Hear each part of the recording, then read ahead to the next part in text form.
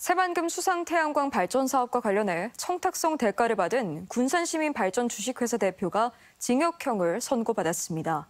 서울 북부지방법원은 알선 수재 혐의로 구속 기소된 군산시민발전 주식회사 서모 대표에게 오늘 징역 1년 6개월을 선고했습니다.